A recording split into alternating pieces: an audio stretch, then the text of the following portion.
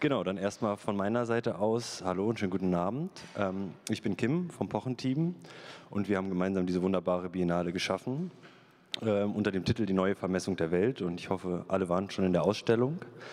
Ähm, genau, ich begrüße auch unsere Gäste zu der Abendveranstaltung die hybride Gesellschaft beziehungsweise wie sehr KI und Mensch gleichberechtigt sind und zu der Frage, ob wir in einer hybriden Gesellschaft leben, würde ich ja sagen. Alleine deshalb, damit mir die Überleitung gelingt, weil wir heute nicht nur äh, in einer hybriden Gesellschaft leben, sondern auch eine hybride Veranstaltung haben. Äh, ich begrüße ganz herzlich Theresa Züger, die uns digital aus Berlin zugeschaltet ist. Und ich begrüße Anja Strobel, die sozusagen den Weg analog zu uns gefunden hat. Und natürlich begrüße ich auch unseren wunderbaren Moderator Pascal Anselmi.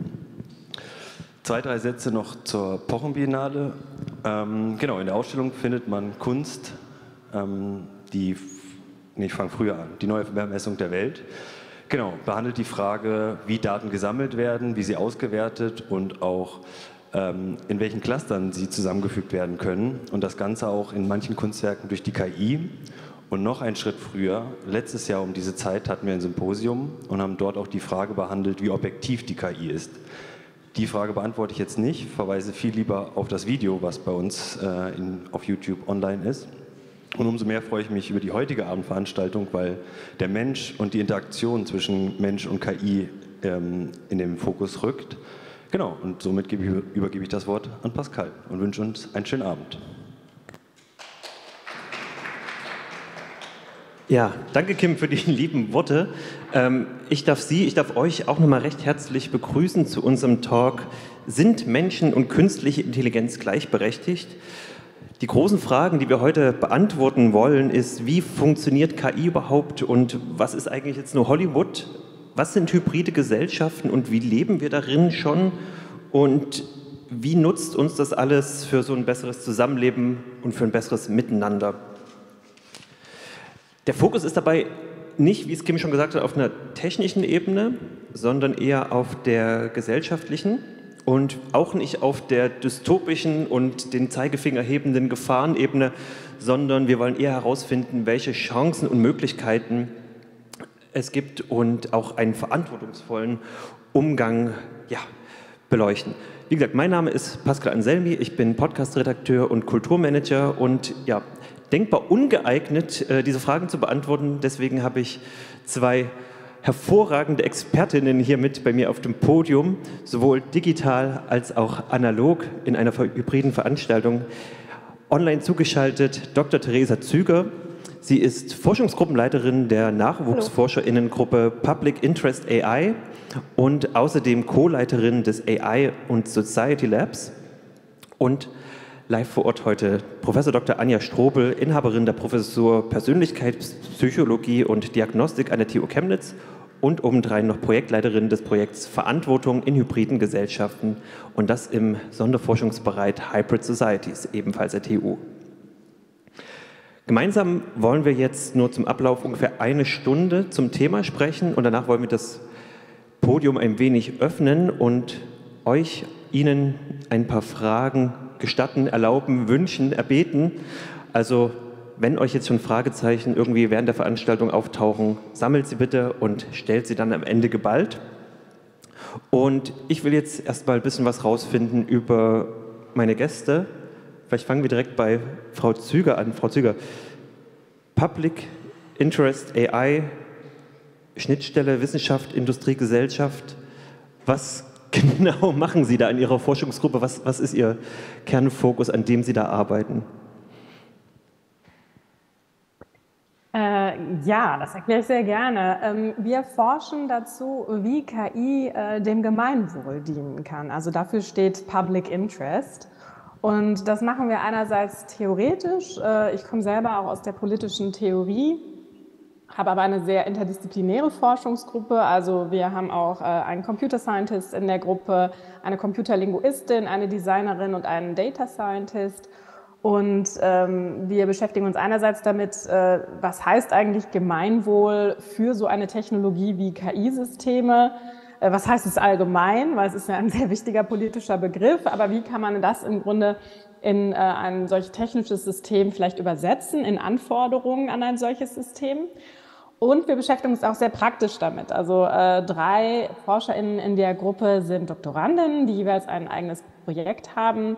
Äh, zum Beispiel äh, die Computerlinguistin ähm, produziert einen Prototypen, der dabei hilft, Deutsch, Standarddeutsch in einfache Sprache zu übersetzen. Und wir stellen das dann äh, auch zur Verfügung, äh, dem Gemeinwohl zur Verfügung, weil alles, was wir produzieren, sind im Grunde für uns auch Testläufe, gemeinwohlorientierte KI auf den Weg zu bringen und zu verstehen, wie verändert sich mit diesem Ziel der Gemeinwohlorientierung auch der Prozess der Entwicklung. Was muss man dann alles mitdenken, wenn man anders mit Daten umgehen möchte, anders mit Teilhabe umgehen möchte, weil dieser Gemeinwohlbegriff, der bringt sehr viele Anforderungen mit sich. Äh, es ist ein toller, wichtiger politischer Begriff, mit dem wir uns beschäftigen und den wir jetzt für diese Technologie versuchen in die Tat umzusetzen. Genau, das machen wir in dieser Forschungsgruppe. Dankeschön. Und Frau Strobel, bei Ihnen hatten wir jetzt auch schon gerade gehört, Hybrid Societies, ist so ein klangvoller Name, ähm, an dem Sie da arbeiten am Sonderforschungsbereich. Was machen Sie und aus welcher Richtung nähern Sie sich dem, dem Thema? Ja, Interdisziplinarität, was Frau Züger gerade schon ansprach, ist in diesem äh, Sonderforschungsbereich in der Tat auch eigentlich das ganz wesentliche Wort. Denn bevor ich sozusagen dazu komme, was, was ich da konkret mache, ist es vielleicht sinnvoll, etwas dazu zu sagen, was der Sonderforschungsbereich allgemein tut. Also Hybrid Societies ist ähm, der, ja, der, der Oberbegriff, der Name dafür. Und was dort passiert ist, dass tatsächlich ähm, Forschende aus allen acht Fakultäten äh, der TU Chemnitz miteinander arbeiten. Das heißt, da haben wir ForscherInnen aus Maschinenbau, Robotik, äh, Elektrotechnik, Informatik, Mathematik, aber eben auch einen großen Anteil PsychologInnen, SoziologInnen und äh, Medienforschende, die sich zusammengefunden haben und letztlich daran arbeiten, grundlegende Fragen sich anzuschauen, wie ein möglichst ja, störungsfreies, reibungsloses Miteinander von Menschen und in unserem Fall geht es um verkörperte künstliche Akteure ähm, möglich werden kann. Was da Grundvoraussetzungen sind, was ganz praktisch auch in der Gestaltung, in der Entwicklung, auch was Frau Züger schon ansprach, ähm, mit betrachtet werden sollte. Und das Teilprojekt, ähm, in dem ich tätig bin, da arbeite ich mit einer Juristin zusammen, beziehungsweise wir sind äh, Rechtswissenschaftlerinnen und äh, Psychologinnen, die gemeinsam in diesem Team sind. Und womit wir uns beschäftigen, ist eben die Frage von Verantwortlichkeit in hybriden Gesellschaften. Also will heißen, welche Merkmale sind es denn bei Mensch und Maschine, die ein verantwortungsvolles Handeln in einem solchen Miteinander ermöglichen. Das ist eine Hauptfrage, die uns beschäftigt. Ähm, in welcher Weise sind Menschen bereit, auch Merkmale, die wir beim Menschen für verantwortliches Handeln als relevant ansehen, auch auf Maschinen zu übertragen, sie äh, Maschinen überhaupt zuzuschreiben, Robotern zuzuschreiben, eben künstlichen AkteurInnen. Und das sind so äh, Fragen, die uns dort beschäftigen, und zwar eben sowohl aus psychologischer Sicht, das ist also meine Aufgabe, als auch eben tatsächlich ganz ähm, praktisch, muss man sagen, aus juristischer Sicht, nämlich mit der Frage, wer ist denn zum Beispiel haftbar, wer kommt denn in die Verantwortung, wenn was schief geht? Und ähm, inwiefern kann da tatsächlich auch künstlichen Akteuren eine Verantwortung auch äh, zugeschrieben werden, auch im juristischen Sinne? Bevor wir uns den Themen Verantwortung nähern, würde ich ganz gerne erstmal diesen klangvollen und ja auch fast schon mystischen Begriff künstliche Intelligenz ein bisschen hier umreißen. Ähm, wir haben ein Vorgespräch äh, geführt zu dritt und Frau Züger, Sie haben mir gesagt oder uns gesagt, Sie finden den KI-Begriff ein bisschen schwierig. Ähm, können Sie das ja. vielleicht nochmal erläutern, warum? Also was Ihr Problem mit dem künstlichen Intelligenzbegriff ist? Ähm, ja, also es ist ein sehr aufgeladener Begriff, äh, dessen Bedeutung eigentlich äh, sehr umstritten ist und der auch eine gewisse äh, historische Genese hinter sich hat, was eigentlich auch als Technologien unter künstlicher Intelligenz verstanden wird Und ich glaube, ganz grundlegend ähm, wird der Begriff heute von ähm, zwei Strömungen beeinflusst. Das ist auf der einen Seite, einen Seite der technische Diskurs, die Informatik, die künstliche Intelligenz als einen bestimmten Teilbereich der Informatik versteht und im Moment äh, vor allem äh, Techniken des Machine Learnings unter künstliche Intelligenz versteht.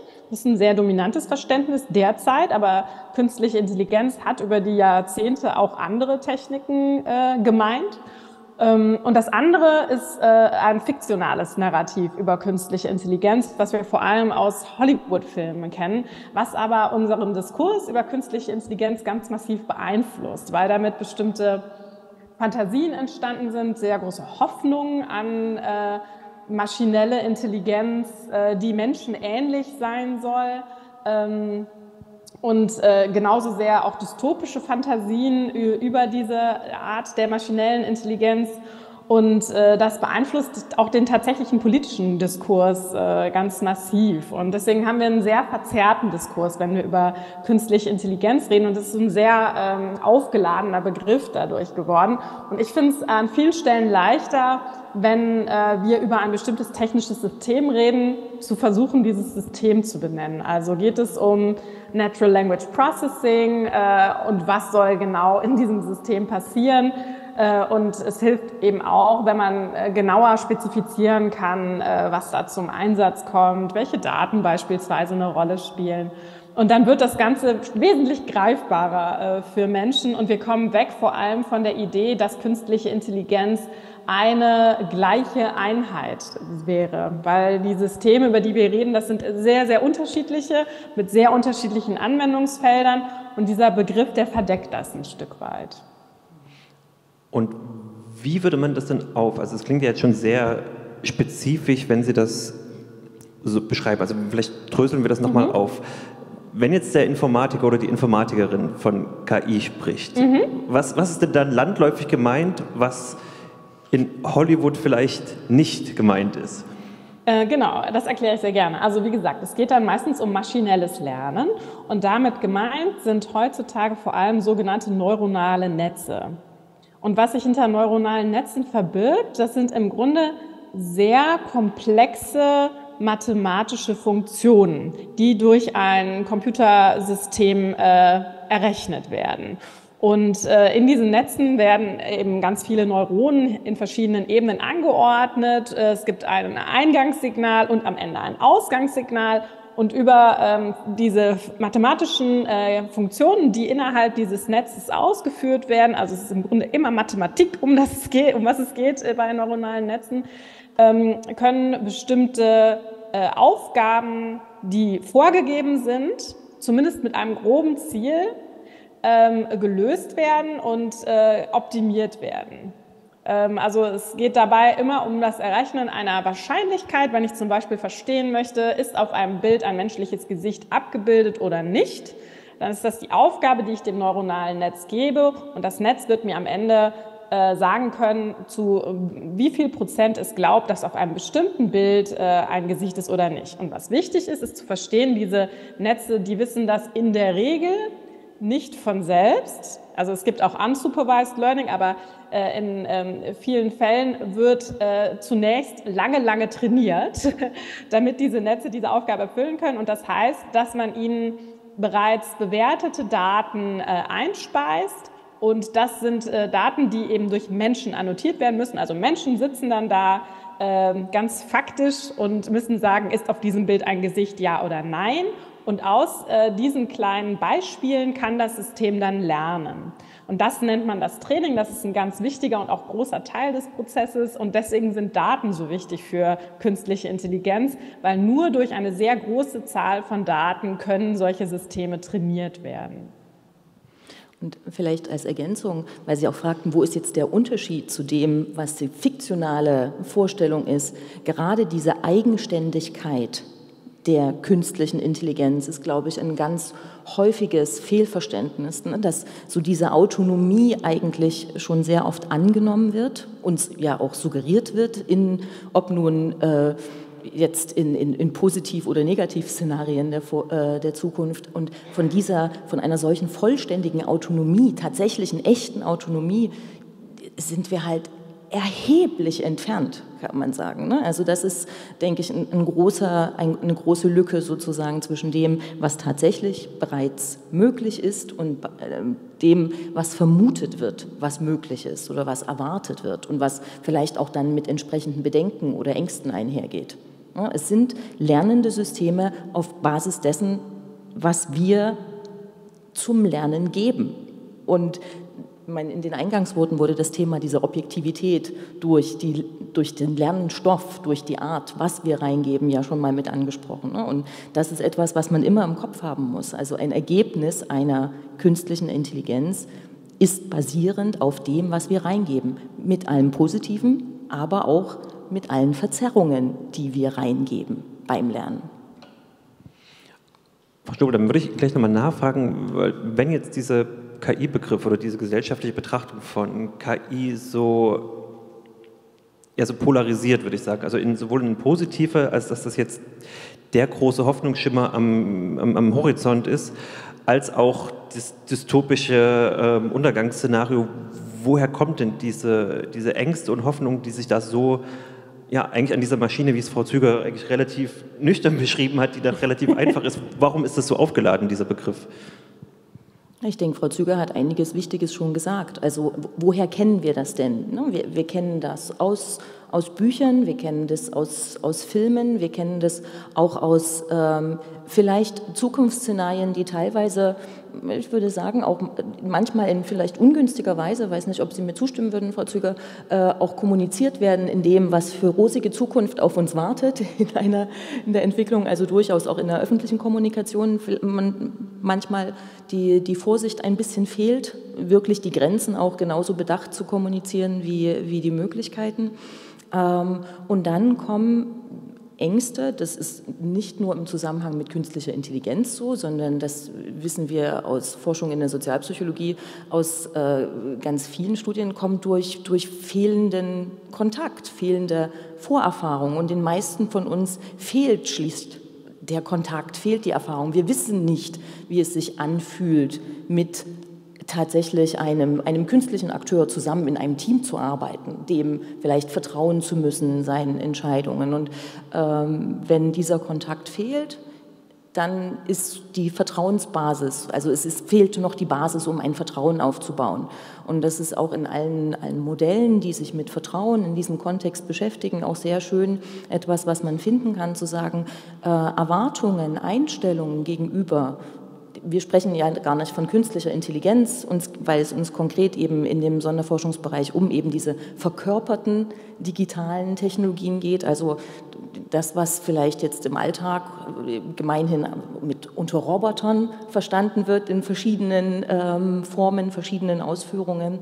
Aber äh, damit ich Ängste abbauen, Vorbehalte abbauen kann und eine realistische Erwartung entwickeln kann, brauche ich natürlich einfach das Erleben. Und dann kann ich sehen, ist das vorhersagbar für mich, was mein Gegenüber tut? Ist das ähm, erklärbar, was da passiert?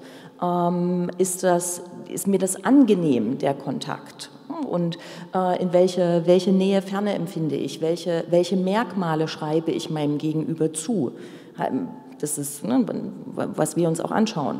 Schreibe ich den Kompetenz zu? Schreibe ich dem eine gewisse Wärme zu? Schreibe ich dem Moralmerkmale zu? Und wenn ich die Chance erstmal habe, dann ist erstmal die Voraussetzung da, um so ein grundlegendes Vertrauen aufzubauen und dann eben vor allem auch realistische Erwartungen aufzubauen. Und denken Sie, dass das sich, weil man, man, findet ja immer wieder künstliche Intelligenz. Ich hatte letztens hatte ich irgendwie einen Chat-Roboter, bin mir aber auch nicht ganz sicher, ob es ein Roboter war oder also ich hatte so eine sehr seltsame Kunden, Kundendienstsituation, wo ich jetzt nicht wusste, ob das da jetzt ein Mensch ist oder kein Mensch ist. Ähm, es hat jetzt nicht unbedingt zur Vertrauensbildung äh, beigetragen. Denken Sie, das ist was, was sich einschleift über die Jahre, dass man das sich einfach dem aussetzt und sich dann irgendwann daran gewöhnt? Oder ist das ein Prozess, der aktiv gesteuert werden muss und kann? Also Und wenn würde, ja, wie? Das sind, das sind große Fragen. Ne? Ich würde sagen, es ist beides. Also es wird zunehmen.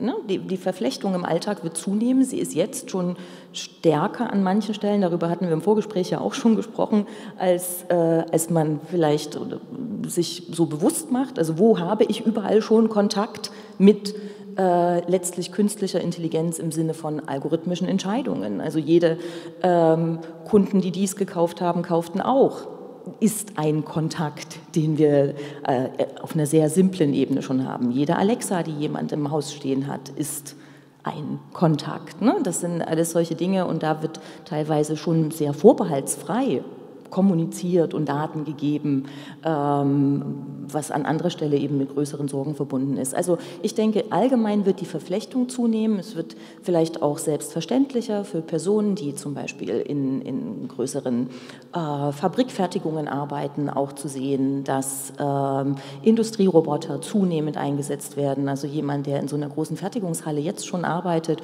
und das sieht, wie da die kleinen autonomen Fahrzeuge kommen und den, den Nachschub bringen oder wie Kollegen Kollegen mit Exoskeletten arbeiten, um den Rücken zu entlasten, wird er jetzt schon ein anderes Bild davon haben als Personen, die diesen Kontakt noch nicht hatten. Wenn man das das erste Mal sieht, ist das vollkommen faszinierend, weil es wirklich ein bisschen eine andere Welt ist, die dort schon relativ selbstverständlich ist. Also das ist das eine, dass es zunimmt und dass natürlich dadurch mehr Menschen in den Kontakt kommen. Aber ich denke schon, dass wir auch eine, eine natürlich eine Informations- und eine letztlich auch Steuerungsaufgabe haben, hm? Kontakte herzustellen, Informationen zu geben, die das ermöglichen und ähnliches. Und wenn Sie jetzt auch mit so verkörperten äh, Intelligenzen arbeiten, es gibt ja auch dieses berühmte Uncanny Valley, also wo man quasi äh, eine sehr abstrakte äh, KI ist dann doch ist besser als eine irgendwo dazwischen, wo es dann unangenehm wird. Ähm, ist das auch noch ein Faktor, der da bei der Vertrauensbildung oder bei der Akzeptanz eine Rolle spielt? Ja, äh, aber das ist auch schon wieder ein komplexes Thema. Und ich habe vorhin zu Ihnen gesagt, ne, wir sagen in der Psychologie, so oft kommt drauf an. Und das ist bei dieser, äh, bei dieser Frage, wie menschlich äh, jetzt ein, ein Roboter gestaltet ist, ganz unbedingt der Fall. Also die Studien, die wir jetzt bei uns im Team gelaufen sind, auch in Kooperation mit anderen Kollegen, die zeigen zum Beispiel, ähm, dass unsere Stereotype, die wir im Umgang mit anderen Menschen haben, auch wunderbar zuschlagen negativen Sinne, kann man sagen, ähm, wenn wir Roboter anschauen. Also das geht los mit äh, einer Geschlechterwahrnehmung von Robotern. Und äh, in den Studien haben wir jetzt recht klar gesehen, dass Roboter, äh, die weiblicher wahrgenommen werden, denen wird mehr Wärme zugeschrieben, genau wie beim Menschen. Und Roboter, die männlicher wahrgenommen werden, die werden kompetenter eingeschätzt. So, wollen wir das jetzt? Wollen wir, das sind tatsächlich Überlegungen, die es gibt, zu sagen, wenn ich in einem, so einem Sozialbereich ne, Social Robots gestalte, gestalte ich die dann weiblicher, weil denen dann diese Wärme zugeschrieben wird? Wollen wir das wirklich? Wollen wir damit solche Geschlechterstereotype auch noch manifestieren weiter? Das sind so Abwägungsfragen, darum sage ich, äh, das ist sicher eine komplexe Frage. Und ähm, wir sehen das auch bei anderen Einschätzungen, dass wir zum Beispiel dieses Uncanny Valley, das haben wir ähm, in erster Linie gefunden bei diesen Moralzuschreibungen, dass so ein Roboter, weiß nicht, ob jetzt das äh, Personen aus dem Publikum kennen, so ein Pepper oder so, ich sag mal so grob, die aussehen, wie man, wie man Wally im Film kennt, ne? die so schon Menschenattribute haben, aber eindeutig nicht wie ein Mensch aussehen, aber irgendwie auch niedlicher, dass denen das eher zugeschrieben wurde als einem Androiden der eben doch diese, diese sehr menschliche Art hatte, aber schon wieder so diese leichte, diese leichte Abwehr auslöst. Das sind zumindest die, die Ergebnisse, die wir jetzt in unseren Studien auch finden. Und ansonsten gibt es da ja sehr, sehr viele Arbeiten zu diesem Uncanny Valley, dass man sagt, wenn es zu menschenähnlich ist, das wollen wir eigentlich nicht so gern. Ja. Frau Züger, Sie arbeiten ja auch an der Akzeptanz und an der Nachvollziehbarkeit von, von KI. Ähm, und es würde mich jetzt mal interessieren, wie schafft man denn überhaupt diese Nachvollziehbarkeit beziehungsweise auch die Erklärbarkeit von KI. Also Sie beide beschäftigen sich akademisch, intellektuell mit dem Thema, aber ich sage mal so, die Besucherinnen und Besucher oder machen wir es konkreter, ich muss das jetzt ähm, zu Weihnachten meinen Großeltern erklären, was wir jetzt hier bei dieser Veranstaltung gemacht haben. Und ich bin jetzt so offen und ehrlich, mein Wissen über KI ist jetzt auch nicht ansatzweise erklärbar. Wie macht man es erklärbar, wie macht man es verstehbar für den normalen Menschen, der dann auch sein Smartphone nutzt und da permanent über KI stolpert? Äh, ganz kurz, ich sehe Sie nicht mehr, deswegen ich oh. äh, rede jetzt einfach mal äh, mit dem Logo, das ich noch sehe, weiter. Vielleicht kann man mir aber das Bild nochmal zurückgeben. Ich glaube, die Technik ähm, kommt gleich wieder mit dem Bild. Okay, alles klar.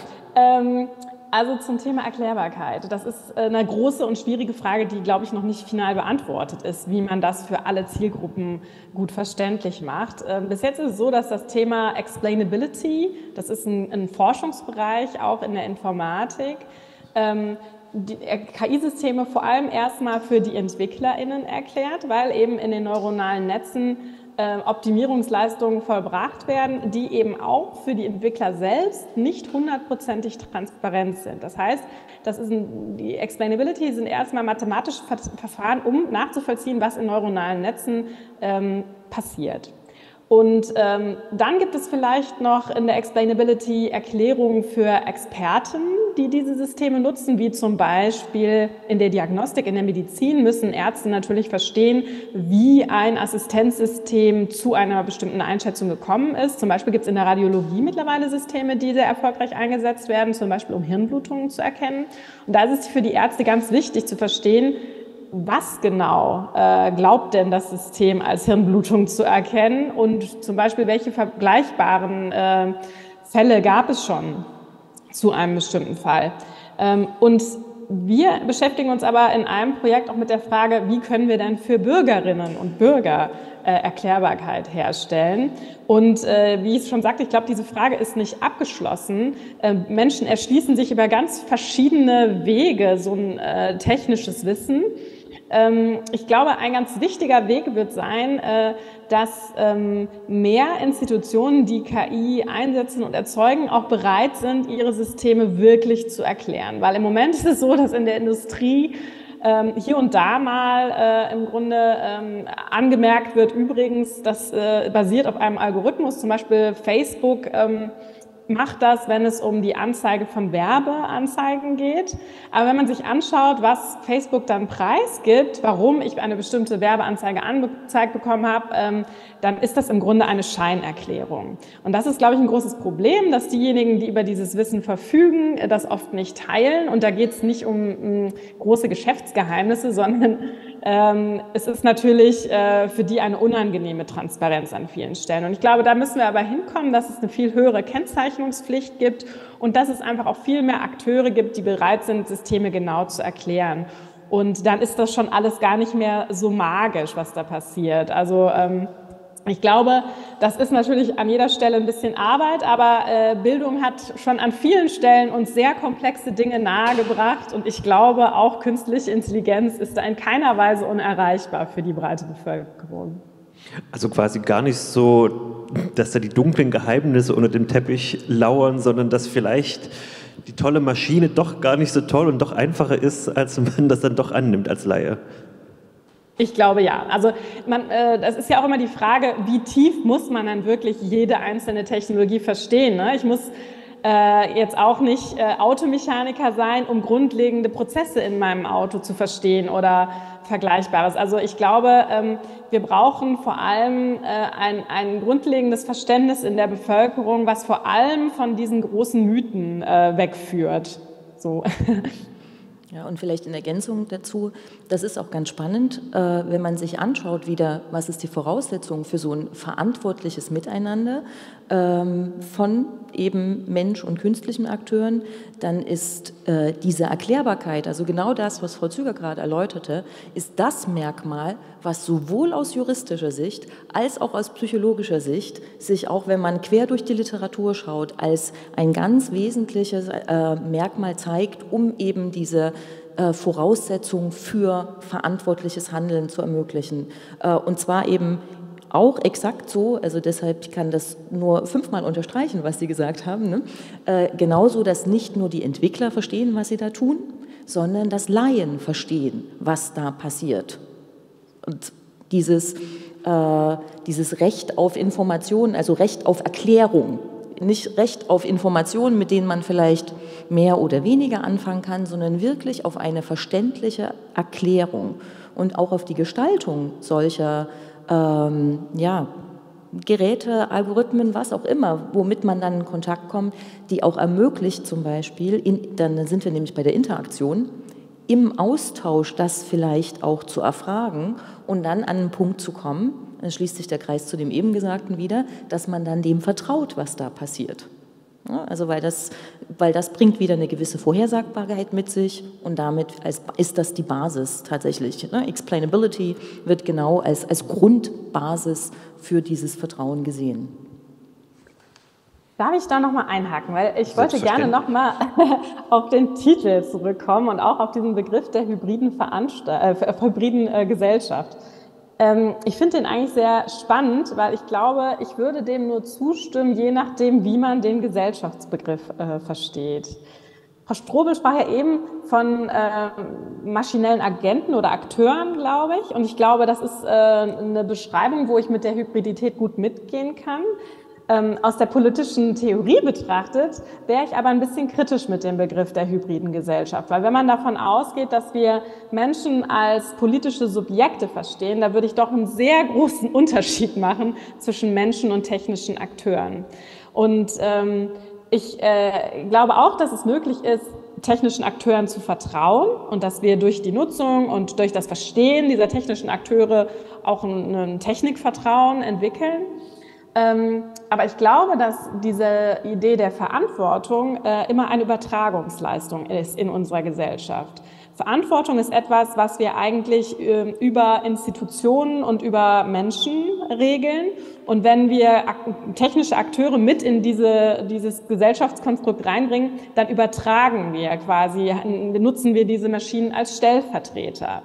Ähm, und äh, das finde ich irgendwie nochmal eine, einen wichtigen Punkt, weil es gab ja auch so anfänglich die Frage, haben Maschinen dieselben Rechte wie Menschen? Und das würde ich eindeutig verneinen aus meiner Sicht. Ich würde da einen großen Unterschied machen ähm, und äh, glaube, dass das eine wichtige Unterscheidung ist äh, zwischen eben politischen Subjekten und technischen Akteuren. Ich glaube, das sind zwei verschiedene Ebenen.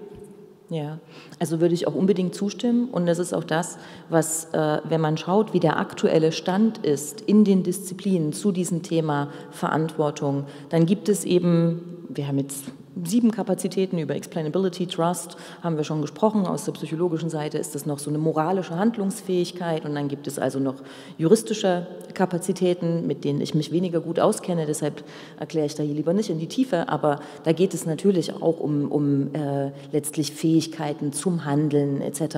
Ähm, Schuldübernahme, Verantwortungsübernahme und das Ergebnis allem, wenn man schaut, welche Akteure gibt es derzeit in einer hybriden Gesellschaft, wenn man so will, unterschiedlich technisierte Akteure, vom Mensch beginnend, ähm, bis hin, was weiß ich, vielleicht zu tatsächlich Hybriden, die wir in der Form jetzt eigentlich noch gar nicht haben. Ne? Also egal, wie groß der Anteil Technik am Menschen ist, ist es ein Mensch. Ein, ein Cyborg, egal, hat, also auch wenn ich zwei technisierte Beine habe, wie auch immer, das ist ein Mensch. Und damit ist es der Mensch, dem wir die Dinge zuschreiben. Und der Mensch ist tatsächlich zum aktuellen Zeitpunkt, und weiter würde ich mich allerdings auch nicht rauslehnen wollen, jetzt aktuell ist es nur der Mensch, der diese vollständigen Kapazitäten hat und dem man sie entsprechend zuschreiben kann. Was in XY Jahren ist, das weiß ich nicht. Das vermag ich nicht zu sagen. Das fände ich ein spannendes Gedankenspiel. Aber wie das aussieht, das wissen wir noch nicht. Aber jetzt ist es eindeutig so, dass volle Verantwortungsübernahme nach dem, was wir äh, jetzt finden und was man ableiten kann, nur für den Menschen eigentlich angenommen werden kann.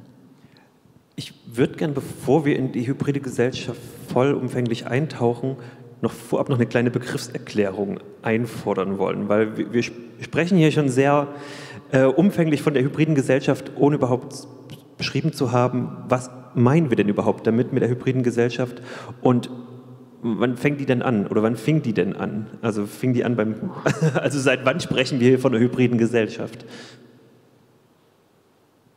Naja, ich würde als Medienwissenschaftlerin, muss ich da jetzt sagen, das ist ein fließender Übergang gewesen über sehr verschiedene Medienwandel, wo äh, Kommunikationstechniken äh, immer mehr Teil unseres äh, Lebens und unseres Handelns geworden sind. Und ich finde das äh, sehr spannend, dass ähm, in zum Beispiel dem dritten Engagementbericht, äh, in dem ich als Geschäftsstellenleitung mitwirken durfte, wir sehr viele junge Menschen äh, befragt haben zu ihrem digitalen Engagement, ähm, dass für die im Grunde digitales Handeln eine merkwürdige Kategorie war, weil für sie war das Handeln.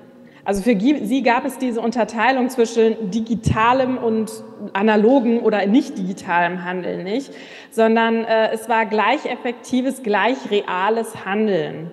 Äh, und im Grunde diese Unterscheidung war für die schon obsolet, sondern das ist wahrscheinlich eine, Generation, eine Generationenfrage äh, dieses Übergangs.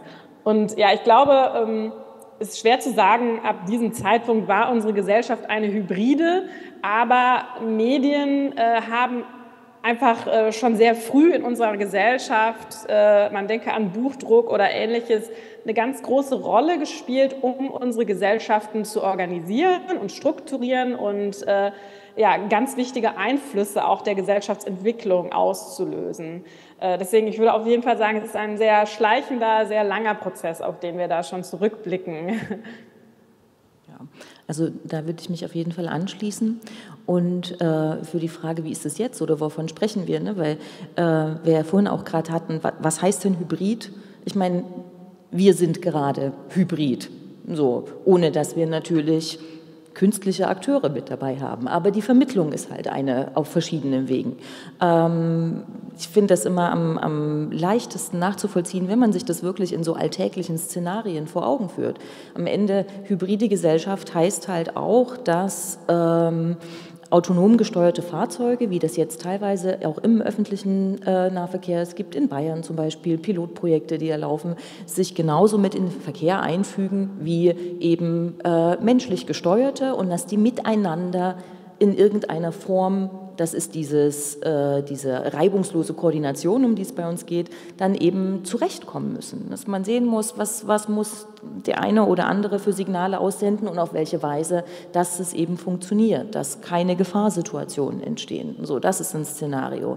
Die, wenn Sie sich einen Bahnhof vorstellen, wo Sie mit einem Service-Roboter ein Gespräch führen, um zu schauen, wie Sie am besten zu Ihrem Ticket kommen und welches Ticket für Sie vielleicht das Beste ist, dann ist auch das ein, einfach ein Beispiel, dass wir schon in einer hybriden Gesellschaft sind. Oder der Chatbot, den Sie vorhin ansprachen. Ne? Das sind alles Beispiele, die jetzt schon sind. Äh, oder diese Fabrikszenarien, von denen ich vorhin sprach. Ähm, und insofern ist das, glaube ich, wirklich auch schwer zu benennen, da ging es los. Weil eben ne, die Entwicklung erstens eine schnelle, auch eine komplexe ist und in sehr vielen Lebensbereichen einfach eine Rolle gespielt hat. Ähm. Jetzt die Frage, in welche Richtung ich weitergehe.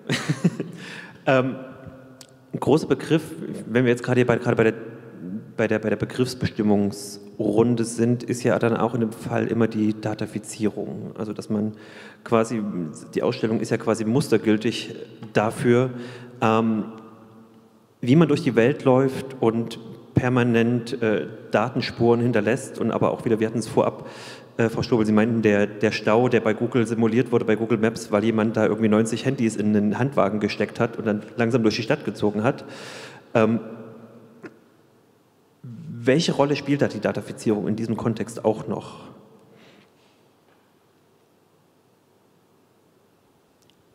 In welcher Rolle? Also wenn Im, Im Kontext der hybriden äh, Gesellschaft. Ach so. Ja, auch da. Also ich denke, dieser, dieser Umgang mit Daten und die Menge an Daten, die uns zur Verfügung steht, das ist einerseits ja eine wesentliche Basis. Ich glaube, da könnte jetzt Frau Züger natürlich noch mal wesentlich mehr aus ihrer Perspektive heraus sagen. Ne? Aber es ist ja das, was wir brauchen, um eben überhaupt so lernende Systeme zu trainieren, zu speisen. Also insofern ist das, ist das eine ganz wesentliche Voraussetzung ähm, einerseits. Und andererseits ähm, ist es sicherlich auch wieder etwas, äh, auch wieder aus dieser Verantwortungsperspektive heraus, ähm, wo ich finde, wo Erklärung wieder wichtig ist, zu sagen, wann gebe ich denn wo, wie hin, wo, wo wie viel und weshalb Daten. Und ne, also, dass, dass äh, Menschen befähigt werden und es ihnen ermöglicht wird, auch äh, informiert zu entscheiden, welchen Umfang an Daten sie wo gerade einspeisen wollen. Und dann kann das etwas sein, was wir gerne tun, weil wir den Gesamtnutzen, vielleicht das Gemeinwohl sogar sehen. Ähm, und es kann aber auch Stellen geben, wo es wichtig ist, sagen zu dürfen, das möchte hier an dieser Stelle nicht. Und äh, ich denke, das ist da wieder so eine Abwägung. Aber dass wir auf der Basis einer enormen Datenmenge an ganz, ganz vielen Stellen entscheiden, handeln, auch jetzt schon, das, das ist so. Ähm, ja, vielleicht ergänzend dazu. Also ich glaube, an ganz vielen Stellen ähm, ist ja auch irgendwo klar geworden, wir schaffen das jetzt äh, über maschinelles Lernen, äh, über Auswertung ganz großer Datenmengen neues Wissen zu generieren. Und an ganz vielen Stellen ist das sehr wertvoll. Also zum Beispiel in der Medizin können wir neues Wissen darüber generieren, dass wir plötzlich Millionen Fälle vergleichen können, was wir vorher nicht konnten. Ähm, oder ähm, zum Beispiel können wir ähm, durch Natural Language Processing Übersetzungen äh, leisten, äh, quasi äh, in, in, wenigen Sekunden aus beliebigen Sprachen in eine andere übersetzen, wobei man sagen muss, das geht immer nur dann, wenn von einer Sprache genug Sprachdaten vorhanden sind und es gibt immer noch sehr viele Sprachen, die daran nicht abgebildet werden können, weil sie nicht profitabel genug sind, um es ganz klar zu sagen, ähm, dass da genug entwickelt wird und genug Daten eingespeist, annotiert werden und eben diesem Prozess zur Verfügung gestellt werden. Aber prinzipiell können wir daran, daran irgendwo schon äh, sehen, was für große Vorteile das für uns hat, dass wir jetzt in der Lage sind, ähm, große Datenmengen auszuwerten. Aber, und jetzt kommt mein großes Aber, ähm, ich glaube, manchmal verführt uns diese Datafizierung der Welt dazu, zu glauben, dass wir tatsächlich alles in Daten erfassen können. Und das ist ein interessanter Streit, den ich auch schon mit mehreren InformatikerInnen geführt habe. Die Frage, ob das der Wirklichkeit entspricht oder nicht. Und ich glaube, ich gehöre da eher zu dem Lager zu sagen, ich glaube nicht, dass wir sämtliche äh, Bewegungen und äh, Beschaffenheiten unseres Daseins in Daten erfassen können. Ähm, und das ist manchmal eben diese, diese Verführung der Daten, äh, die uns quasi verleitet zu glauben, dass wir darüber akkurateres, besseres, verlässlicheres Wissen generieren und dass wir tatsächlich über alles aus Daten Wissen generieren können. Und ähm, ja, ich glaube, das ist ein, ein ganz wichtiges Bewusstsein, was wir schärfen müssen, zu verstehen, wo uns das Nutzen bringt und wo das tatsächlich ein wichtiger Einsatz ist von künstlicher Intelligenz zum Beispiel, um aus Daten Wissen zu generieren und wo wir das nicht wollen oder wo es auch gar nicht möglich ist. Also ganz viele politische Probleme lassen sich eben nicht allein durch Daten lösen, weil ganz oft sind uns die eigentlichen Probleme schon lange bekannt, wir, wir ändern sie nur nicht oder wir sind nicht bereit, die Konsequenzen einer Lösung zu tragen. Und das ist äh, ja, auf einer ganz anderen Ebene des Handelns angesiedelt. Und ich glaube, einen Punkt, den würde ich noch vertiefen, äh, den Frau Züger jetzt ansprach, diese Frage, welche Sicherheit wir mit solchen Ergebnissen, die basierend auf großen Datenmengen entstanden sind und eben Big Data als Stichwort dann basiert sind, welche Sicherheit wir damit verbinden. Und das ist, äh, das beginnt nicht erst bei Big Data, das ist jetzt ein Thema tatsächlich meiner, meiner sonstigen diagnostischen Arbeit, zu sagen, sobald was eine Zahl hat, denkt man plötzlich, es sei belastbarer aber die Basis dahinter ist die, die es belastbar macht. Ne? Dass ich ein Rating vergebe oder dass mir ein Algorithmus ein Ergebnis auswirft, heißt nicht zwingend, dass es belastbarer ist, sondern das ist die Frage, wie belastbar sind die Daten, die dahinter stecken. Und das muss man natürlich, ne? es kann nicht zu so einer Scheinsicherheit geben. Das sagt der Computer und deshalb muss es stimmen. Das ist ja, also das ist äh, ein Risiko. Und das sehen wir zum Beispiel in einem Kontext, in dem ähm, die Nutzung von Big Data jetzt schon einzieht, ohne dass die Basis gut geklärt wäre, nämlich in der Personalauswahl. Äh, Im Personalauswahlkontext gibt es bereits Programme, die werden sehr beworben, gern angenommen von den Unternehmen, weil es verlockend klingt zu sagen, wir können über Sprachanalyse, über kurze Sprachproben Eignungsvorhersagen im Personalauswahlkontext treffen. Und da gibt es, es gibt Zusammenhänge. Es gibt Zusammenhänge dieser Sprachanalysen mit Berufserfolg. Die sind im mittleren Bereich. Was man aber nicht weiß, ist, was führt zu den Zusammenhängen? Was sind die Dinge, die tatsächlich ursächlich sind für den gefundenen Zusammenhang? Und solange wir das nicht finden, sagen wir, und wir heißt, würde ich jetzt in dem Fall mal sagen, seriös arbeitende DiagnostikerInnen, dann machen wir das nicht. Aber es, es wird vertrieben, es gibt, einen, es gibt eine Nachfrage danach, weil man sagt, super, wir haben hier, wir müssen nicht anderthalb Stunden Gespräch führen, Auswahlinterview, sondern wir lassen uns einen kurzen Videoschnipsel schicken und den schicken wir durch und dann heißt es geeignet oder nicht geeignet. Und das ist äh, eben auch gefährlich und auch nicht ethisch aus meiner Sicht und nicht nur aus meiner Sicht. Ja, ich kann äh, vielleicht auch dazu nochmal wirklich äh, völlig zustimmend auch ergänzen. Es gibt natürlich auch Versprechen, ähm, wie zum Beispiel, ähm, dass man äh, an Gesichtern die politische äh, Ausrichtung von Menschen erkennen kann oder ihre sexuelle Orientierung. Und mit all diesen äh, Behauptungen sind wir halt in einem Bereich, äh, der wirklich auch sehr ähm, ja, im Grunde schon äh, alt und vorurteilsbehaftet vor allem ist. Äh, also der äh, die Menschen schon immer fasziniert hat, über äh, Physiognomie beispielsweise bestimmte Wesensmerkmale des Menschen erkennen zu wollen. Und da hat die Forschung eigentlich immer sehr gut mittlerweile auch aufgearbeitet, dass das eigentlich äh, ja, eine, eine diskriminierende und ähm, oft antisemitische auch äh, Lesart äh, und äh, ja, äh, eigentlich Tendenz ist, die mit diesen Behauptungen einhergeht. Und ähm, noch vielleicht äh, zu einem anderen Punkt. Ähm, es werden ja in Bezug auf KI auch häufig Biases äh, diskutiert, also Verzerrungen der Daten. Und ähm, da kann man ganz grundlegend erst einmal sagen, es gibt keinen Datensatz, der ohne Bias äh, erhoben wurde weil äh, quasi die objektiven Daten der Welt gibt es nicht. Es gibt immer eine Auswahl an Daten. Das heißt, ich habe eine Auswahl einer bestimmten Bevölkerungsgruppe. Äh, manchmal habe ich auch äh, nur bestimmte Menschen äh, einer, einer Ortschaft oder in irgendeiner Weise gibt es immer Auswahlkriterien für die Daten, die da erhoben werden.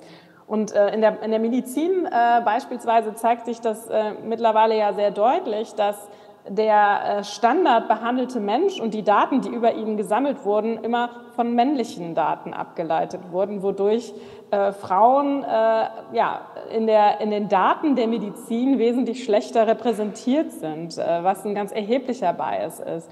Und diese Verzerrungen, die sind, äh, derer müssen wir uns einfach immer bewusst sein. Und es ist wichtig, transparent mit ihnen umzugehen. Ähm, das heißt nicht immer, dass unsere Systeme dadurch schlecht sind oder dass sie dadurch unnütz sind. Aber wir müssen uns einfach bewusst sein, mit welchen Verzerrungen sie möglicherweise kommen und welche Einschränkungen wir möglicherweise mitdenken müssen. Ähm, das ist, äh, glaube ich, äh, sehr wichtig. Und ich finde eben auch diese grundlegende Frage von, wo sind denn auch die Grenzen dessen, wo wir äh, Datafizierung und quasi eine Auswertung über Daten einsetzen wollen, ist äh, die grundlegende, die wir uns immer wieder stellen müssen. Weil so sehr ich quasi in dem Bereich forsche, wo KI dem Gemeinwohl dienen kann, gibt es auch eindeutig die Gegenbeispiele. Das wäre jetzt auch gerade meine Frage gewesen. Als ich als Laie kann ja schlecht ähm, die Vorgänge in der KI oder in den, den Big Data Auswertungen herauslesen und okay, so krass rassistische äh, oder, oder unseriöse äh, kann ich schon rausfiltern, weil es wahrscheinlich dann doch irgendwie absurd ist. Aber wenn ja. wir dann so in, in, so Grauzonen kommen, wie so Kreditvergabe oder ähm, wo es dann doch sehr abstrakt wird oder auch nicht mehr nachvollziehbar, ähm, wie schafft man da die Transparenz oder die Nachvollziehbarkeit oder auch das, wer ist der Akteur, dass dann ja, diese Grauzonen dann auch beleuchtet werden?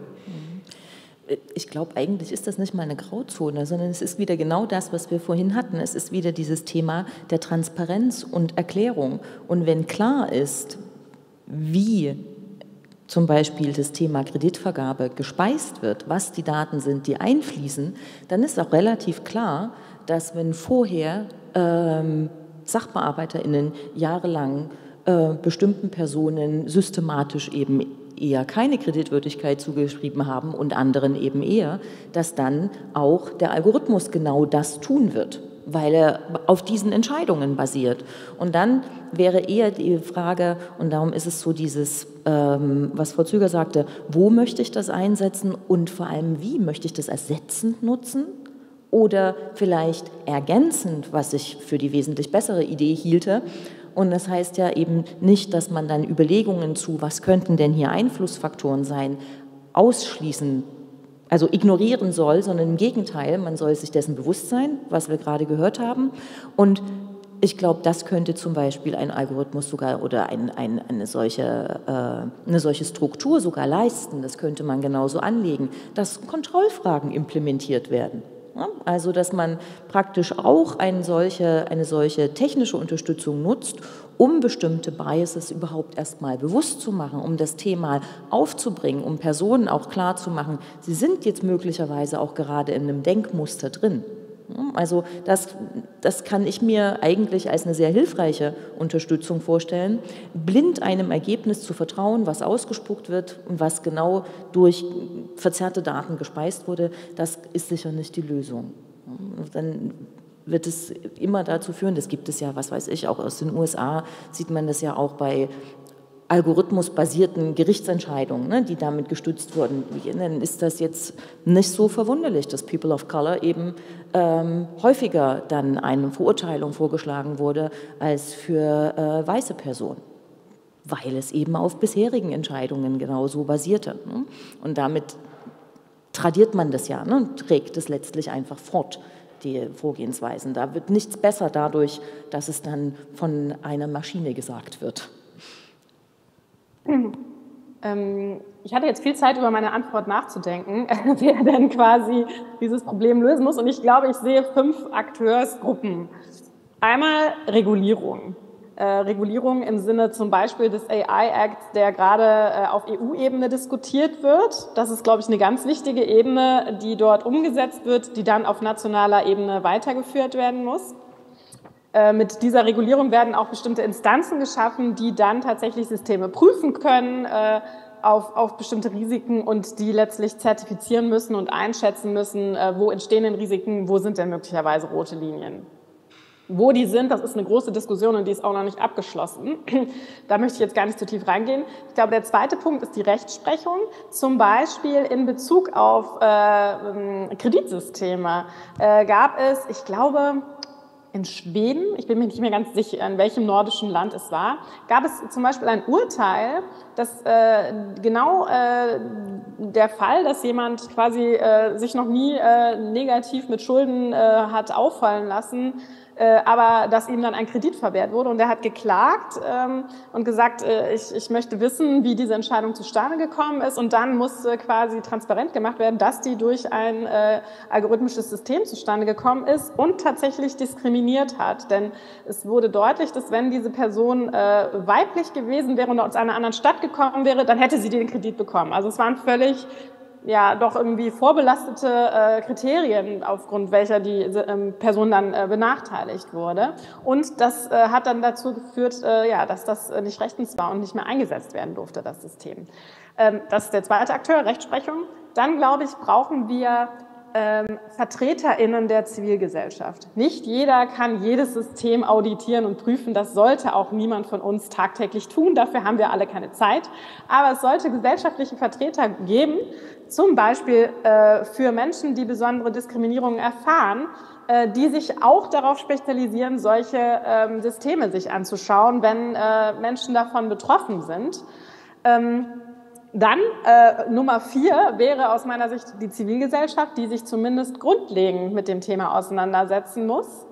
Und der letzte Akteur wäre für mich tatsächlich die Industrie, die auch selber äh, rote Linien für sich ziehen muss, was sie bereit ist zu entwickeln und was nicht. Also welchem Versprechen sie auch bereit ist, Folge zu leisten, vielleicht auch wieder besseren Wissens. Äh, und äh, wo sie eine rote Linie zieht. Und teilweise passiert das auch. Also ich kenne auch KI-Entwicklungsfirmen, die klar gesagt haben, wir entwickeln keine Drohnen zur Abwehr an Flughäfen, weil sie genauso gut zum äh, aktiven Einsatz äh, äh, eingesetzt werden können und quasi bewaffnet werden können. Also wir ziehen da unsere rote Linie und genauso können andere Akteure in der Industrie das auch. Und ich glaube, auch das ist ein sehr wichtiger Faktor.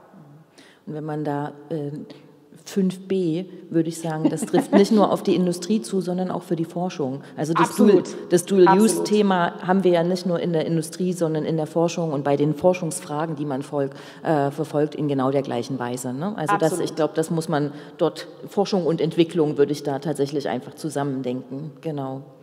Ja. Jetzt haben wir ja, dieses Jahr hat ja die EU diese Digitalisierungsstrategie bis 2030 herausgegeben. Und ein großes Thema ist da auch die, äh, oder ein großes Buzzword, das ist auch die Digital Citizenship. Und die fünf Punkte, die Sie gerade schon angesprochen haben, sind die da schon inkludiert oder ist das etwas, wo wir uns jetzt erstmal auf den Weg machen? Also wo sind wir in diesem Prozess, den Sie gerade beschrieben haben? Wo stehen wir denn da überhaupt? Also gibt es schon Ansatzpunkte, wo man losarbeiten kann? Oder ist das ein, ein, Wunschtraum, den wir jetzt erstmal noch entwickeln müssen, bevor wir da in zehn Jahren dastehen und übermannt sind? Ähm, ich finde, das ist ein total äh, spannendes, großes Thema. Ähm, weil dieser Begriff des Digital Citizenship ähm, ist ein, ein sehr komplexer, der wird sehr unterschiedlich verstanden. Einerseits ähm, wird er äh, so ausgelegt, dass es dabei darum geht, dass Menschen bestimmte Kompetenzen erwerben, also literate sind im Umgang mit Daten und digitalen Technologien. Und wenn sie sich quasi als Konsumenten äh, gut äh, bewegen können in diesem System, wenn sie eine gewisse Technik, äh, Autonomie haben, wenn sie sich ethisch mit anderen verhalten, dann sind sie gute Digital Citizens. Also es geht auch um normatives Verständnis an ganz vielen äh, Stellen. Und dann gibt es äh, auch andere Verständnisse dieses Digital Citizenships, die wesentlich stärker einerseits auf Zugang äh, abzielen, also fragen, wer hat denn überhaupt Zugang zu diesem System und gleichberechtigte Möglichkeiten. Das ist eine ganz wichtige Frage, glaube ich. Und damit ähm, ja, müssen wir uns vor allem auch fragen, äh, wie ist das global? Wer hat eigentlich die Möglichkeiten, Technologien zu nutzen und wer ist eigentlich immer noch abgehängt? Aber auch in unserer Gesellschaft gibt es Gruppen, die eindeutig benachteiligt sind bei der Nutzung digitaler Technologien. Und äh, weiter ist es auch ein Thema, ähm, wo man sich fragen muss, es geht ja, also äh, Citizenship, also Bürger sein von etwas, hat einerseits etwas damit zu tun, dass mir Rechte und Pflichten gegeben werden. Andererseits hat aber Bürgersein als politisches Subjekt auch immer damit zu tun, dass ich Rechte beanspruchen kann und dass ich Mitgestaltung beanspruchen kann. Also in unserem heutigen äh, Politikverständnis ist Demokratie ja etwas, was ich mitgestalten kann. Und äh, eben dieses sehr partizipative Verständnis von Digital Citizenship finde ich ein sehr wichtiges. Und ich glaube, da sind wir noch in einem Werdungsprozess. wo es eben nicht nur darum geht, wie äh, sicher handhaben wir digitale Technologien, sondern wie sehr verstehen wir, wie diese Technologien unsere eigene Welt gestalten und können auch kritisch intervenieren, wenn wir damit nicht einverstanden sind. Und ich glaube, ja, solche Veranstaltungen wie heute Abend und dass Menschen sich damit auseinandersetzen, ist ein Zeichen, dass wir auf diesem Weg sind, ähm, Digital Citizenships äh, zu sein und zu werden.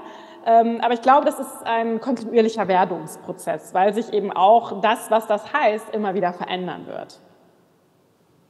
Und ich glaube, was diese verschiedenen Ebenen angeht, sind wir tatsächlich sehr unterschiedlich weit auch. Also was diese reine Medienkompetenz angeht, da würde ich schon sagen, das ist auf einem ganz guten Weg. Manches natürlich weniger von außen gesteuert als schön wäre. Also da könnte zum Beispiel in Schulen etc. schon weit mehr passieren. Ich glaube, das hat die Pandemie gerade sehr, sehr eindrücklich gezeigt wo da noch der Handlungsbedarf ist, wenn ne, und wer da wem dann die Medienkompetenz vermittelt hat äh, an manchen Stellen.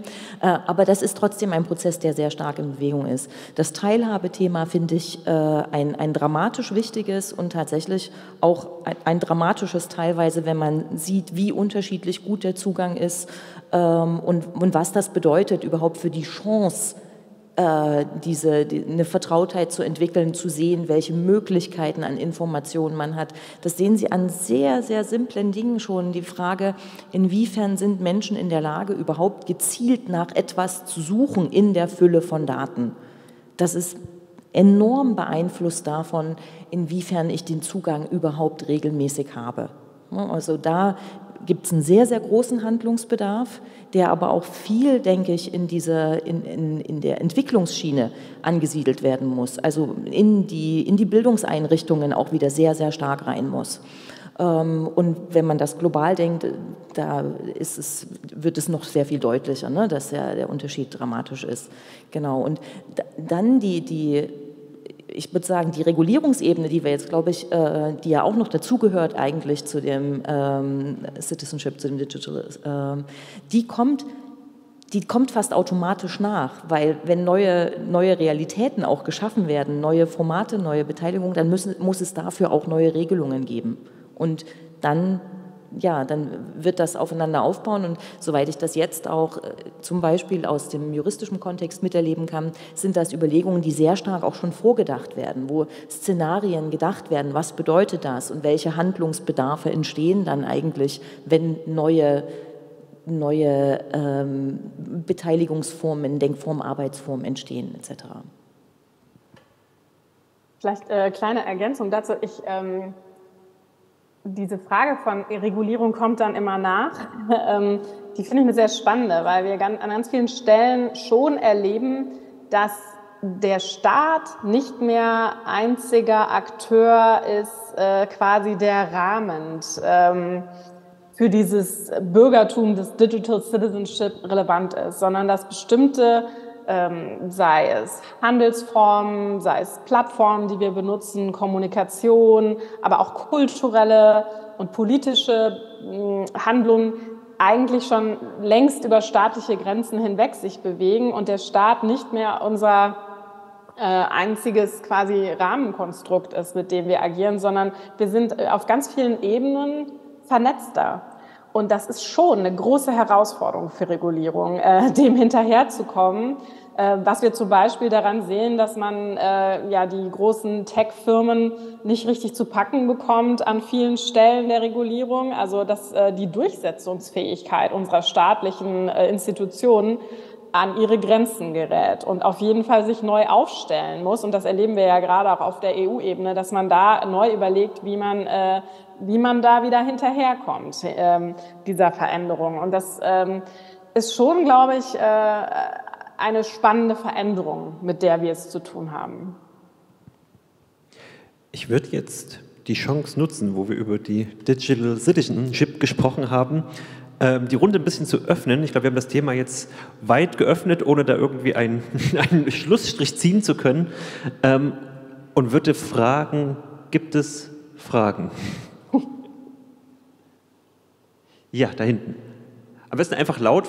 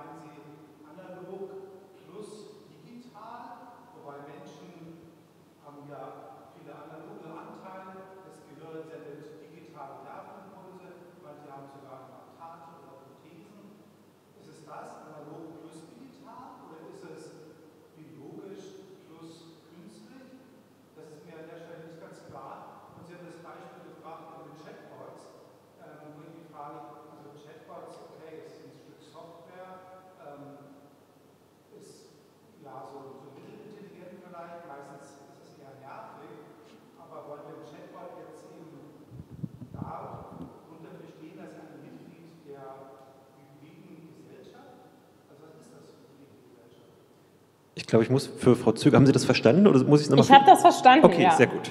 Perfekte Tonausleuchtung. Dauert mal die Technik. Oh nein! Oh. Ich schätze, dann fange ich mal an mit Antworten. Ja. Das war jetzt der Klassiker, oder?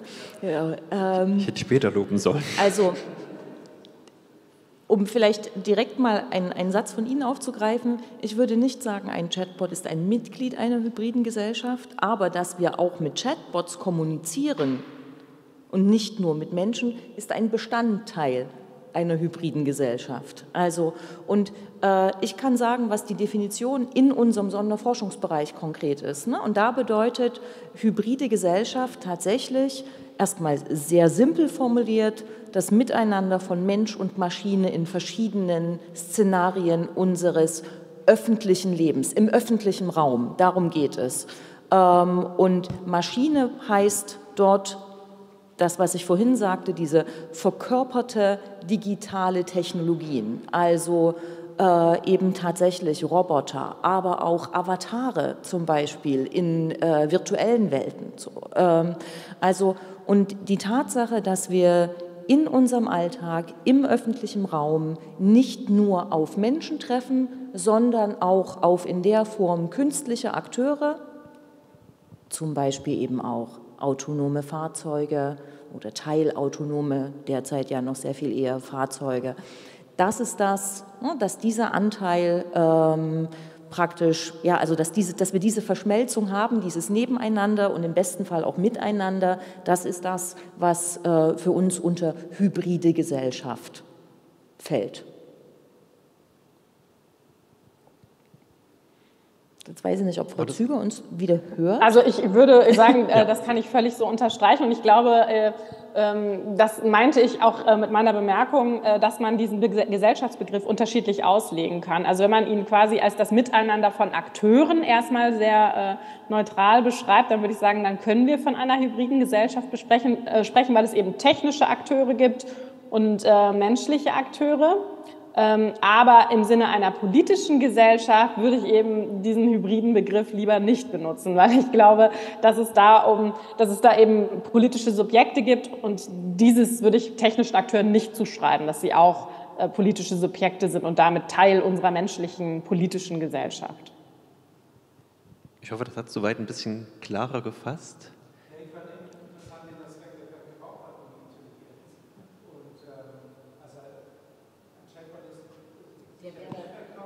Genau. Darüber haben wir schon diskutiert. Also im engeren Sinne nein. Aber wie gesagt, Avatare in Computerspielen, das wäre, das wäre ein Beispiel für so eine Verkörperung. Ähm, ein Telepräsenzsystem, ist eine Verkörperung. Also wenn ein, ein, Mensch übertragen wird, aber sehr, wir haben das äh, schon haben können, zum Beispiel bei Veranstaltungen. Jemand kann nicht da sein und wird gesteuert über einen Computer und Sie sehen die Person auf dem Bildschirm. Da haben wir Hybrid in mehrerlei Hinsicht. Ne?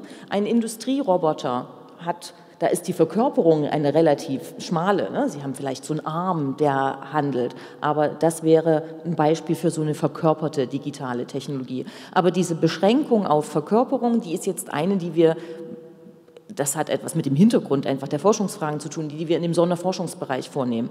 Wenn ich ansonsten von der Breite der Akteure spreche, dann würde ich tatsächlich Chatbot und eben Algorithmen etc. durchaus natürlich mit einschließen, in dem Sinne dieser unterschiedlich technisierten Akteure. Also ne, das ist jetzt eine Frage, wann ich was betrachte. Wir beschränken uns sozusagen in dem Fall auf die Verkörperten, was nicht heißt, dass es nur die gibt. Gibt es darüber hinaus noch Fragen? Ja, hier vorne.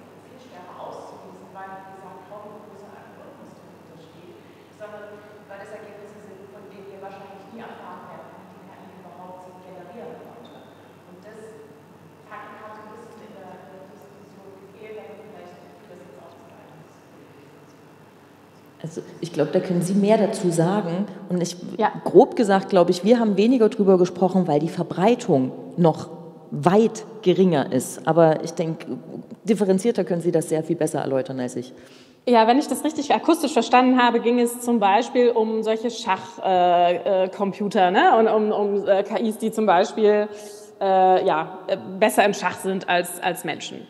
Ähm, das ist ein sehr äh, interessanter Fall, weil ähm, was äh, richtig ist in der Beschreibung, ist, dass äh, hier dem System nicht äh, gesagt wird, quasi durch ein Training, das ist hier in dem Fall der klügste Zug, sondern das System wird mit unendlichen Mengen an möglichen Spielen und Zügen gefüttert. Aber das System, dem System wird natürlich sehr klar vorgegeben, was die Regeln des Spiels sind. Also was quasi die Parameter sind, innerhalb derer sich das System bewegen kann. Und das ist schon wichtig, dass diese Systeme nur so gut performen können, weil das ein sehr abgegrenzter, sehr klarer Handlungsspielraum ist, der diesen Systemen gegeben wird.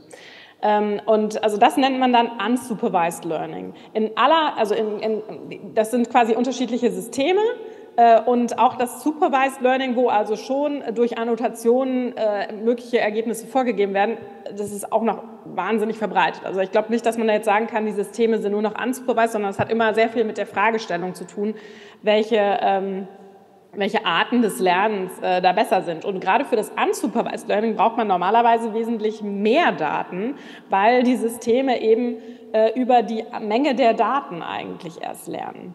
Ähm, was es natürlich gibt, ist sowas wie Transfer Learning. Das sind quasi Systeme, die schon mal trainiert wurden und dann auf, ein anderes, äh, auf eine andere Aufgabe ähm, angesetzt werden können. Aber generell äh, darf man nicht die Vorstellung haben, dass diesem System quasi nichts gegeben wird und dann lernen sie von alleine, sondern ihnen werden immer bestimmte Parameter vorgegeben. Ihnen muss immer ein bestimmtes Ziel vorgegeben werden, auf das sie hin optimieren sollen, auch wenn sie über die einzelnen Daten selber lernen oder selber Muster erkennen, die für sie sinnvoll sind. Und gerade in Bezug auf das Unsupervised Learning ähm, ist ein ganz großes Problem, dass wir eben nicht wissen, welche Muster die Systeme erkennen. Es, gab, es gibt zum Beispiel schöne Beispiele, wo äh, einem System ganz viele Bilder gezeigt wurden und das System hat mit einer sehr guten Treffsicherheit, ohne dass man äh, quasi das vorher annotiert hat und angegeben hat, Pferde identifiziert. Und dann ähm, ja, hat man überprüft, welche Muster, das äh, ging dann über solche Explainability-Techniken, welche Muster diese Systeme denn erkannt haben, um das Pferd zu identifizieren. Und herausgestellt hat sich, dass ein ganz großer Anteil der tatsächlichen Pferde in, der, in den Bilddaten ein, äh, ein Copyright-Schriftzug äh, hatte. Und das System hat immer den Copyright-Schriftzug erkannt und nicht das eigentliche Pferd. Und äh, das nennt man das schlaue Hans-Phänomen. Es gibt ja irgendwie diese Geschichte des Pferdes, des schlauen Hanses, von dem man glaubte, dass es rechnen konnte. Und man konnte nachher zeigen, dass das Pferd eigentlich nur die Psychologie seines Halters sehr gut lesen konnte. Und genau dieses Phänomen gibt es bei diesen unsupervised KI-Systemen auch, dass sie zwar Muster erkennen und diese teilweise auch erfolgreich, aber möglicherweise die falschen, die etwas mit einer Datenverzerrung zu tun haben.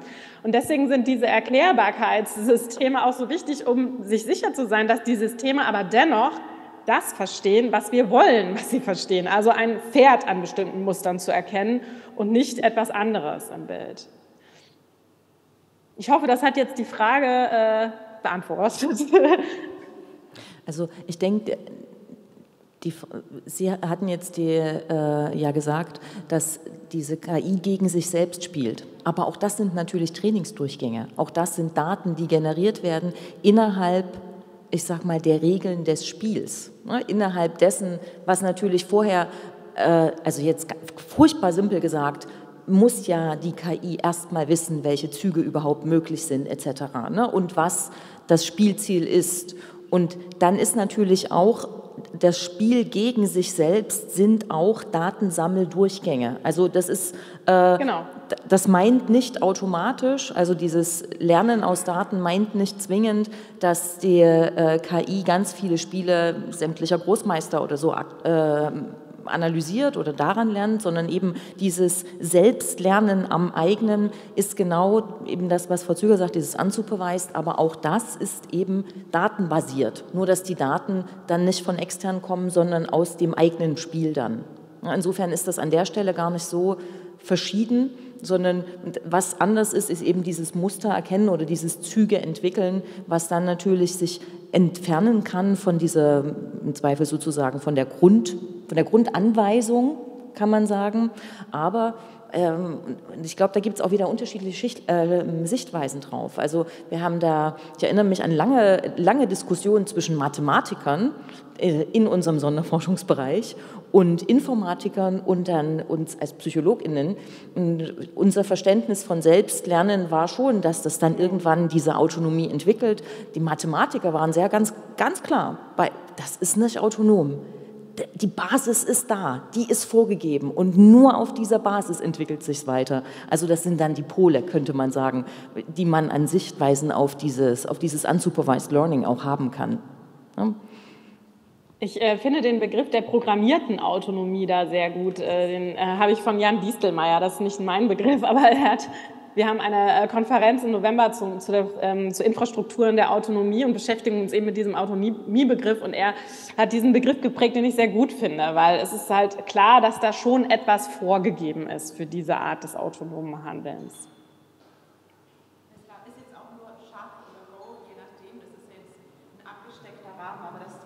kann ja auch auf andere ähm, Systeme übertragen werden, zum Beispiel ja. Auswertungen von wissenschaftlichen Untersuchungen, dass da Daten rausgezogen werden und dass daraus Schlüsse gezogen werden, die wir nicht mehr nachvollziehen können, mhm. weil das mhm. System die Schlüsse selber zieht. Mhm. Aber das ist genau der Punkt. Also Explainability ist so langweilig das vielleicht klingt, ne? aber es ist immer wieder das, worauf wir zurück müssen. Also diese Erklärbarkeit, die, die müssen wir herstellen, die dürfen wir uns auch nicht nehmen lassen, sonst, sonst funktioniert es tatsächlich nicht. Also sonst funktioniert das auch nicht in einem verantwortlichen Miteinander, ne? weil wir uns sonst vertrauen, äh, verlassen auf Dinge, die wir nicht erklären können. Und das ist in der Regel keine so gute Idee. Ja. Haben wir noch weitere Fragen? Ja. Ähm, meine Frage bezieht sich jetzt auch vor allem auf eine menschliche Ebene. Und zwar ähm, sagen wir, wir wären an dem Punkt, wo wirklich ähm, Transparenz geschaffen werden kann. Also um nochmal ein anfängliches Beispiel zu nehmen, wenn wir zum Beispiel Empfehlungsalgorithmen haben, Empfehlungen äh, zu Produkten, die wir kaufen sollten. Wenn die Möglichkeit wirklich besteht, wenn das rechtlich quasi abgeklärt ist, inwiefern ähm, Menschen, also über die Zivilgesellschaft hinweg, sich dann auch quasi dafür interessieren. Also wie wir das machen, ich meine, klar, gegen Ende wurde das natürlich angesprochen mit Bildung, die da vorher quasi wo das schon in Schulen eingebracht wird oder natürlich den ganzen anderen Faktoren von Zugänglichkeit und all sowas, was dann natürlich mit reinspielt. Aber ganz konkret, wenn man jetzt vor seinem Bildschirm sitzt und die Möglichkeit hätte, die Informationen abzurufen, ob wir wissen, was dann Einfluss hat, dass man das auch tut, also dass das auch gemacht wird, dass da auch Interesse besteht, ob es da vielleicht sogar schon Untersuchungen zu gibt oder ähnliches. Also aus psychologischer Sicht kann man sagen, es gibt sehr, sehr viele Gründe, die dann oder sehr, sehr viele Variablen, die einen Einfluss haben können. Das, also, äh, das sind Persönlichkeitsmerkmale. Ähm, das sind ähm, natürlich, das ist auch in der Tat auch Intelligenz, die eine Rolle spielt. Das ist äh, die grundlegende Einstellung und das Interesse an dem, was mir da präsentiert wird. Und ähm, das ist die Art, das Setting. Also es gibt sozusagen, es gibt Merkmale der, der Person, der Situation, in der ich dann äh, solche Entscheidungen treffe oder mich entscheide, auch keine weiteren Informationen haben zu wollen. Und es gibt auch äh, praktisch der, der Gestaltung der, ähm, ich würde mal sagen, der, technischen Seite, die einen Einfluss hat. Ne? Also ich kann das auch natürlich mit einem gewissen Aufforderungscharakter gestalten oder wie Sie vielleicht Datenschutzerklärungen kennen, so verstecken, dass die Leute lieber oder so aversiv gestalten, dass die Leute sich lieber nicht informieren. Ne? Das ist so ein bisschen auch das, äh, was wir, was wir an manchen Stellen jetzt haben. Also insofern, es hängt von sehr, sehr vielen Faktoren an, ab. Äh, ich denke, dass es die Aufgabe von EntwicklerInnen ist, es so zu gestalten, dass die Schwelle möglichst gering ist, sich die Informationen zu holen. Ich fürchte aber, oder ich denke, man kann relativ klar sagen, auch aus dem, was wir jetzt aktuell schon haben, dass das Bedürfnis sehr unterschiedlich sein wird, sich wirklich so zu informieren. Ein Beispiel, das hatten wir jetzt noch nicht, all die wunderbaren Tests, die Sie machen können in den sozialen Medien. Ne? Klicke hier und finde heraus, welche Traumstadt am ehesten zu dir passt. oder welche Mahlzeit, was auch immer. Das sind Datensammler. Es ist nichts anderes als große Datensammler. Und das wird mit großer Begeisterung und sehr wenig Zurückhaltung von sehr vielen Menschen gemacht. Wie gesagt, wenn wir schauen, ich habe keine Prozentzahlen, vielleicht wissen Sie es, Frau Züger, wie viele Menschen eine Alexa haben. Ich finde oh, nee, bisschen, das weiß ich nicht. Ich, ich, möchte das nicht so gern bei mir zu Hause. So.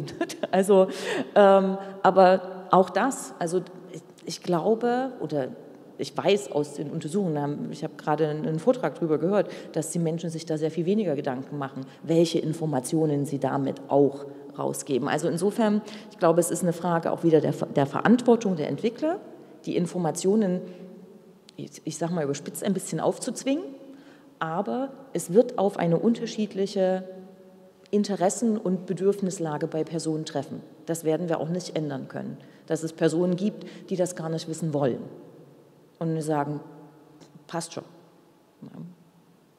Ähm, das glaube ich auch. Ich glaube aber, dass wir auch äh, Punkte erleben werden, wo für uns eine Reibung entsteht, wo wir sagen, Moment mal, das möchte ich jetzt wissen, warum mir diese Werbung immer wieder angezeigt wird. Oder ich möchte jetzt wissen, warum mein Kredit äh, abgewehrt wurde oder warum ich den Handyvertrag nicht bekommen habe.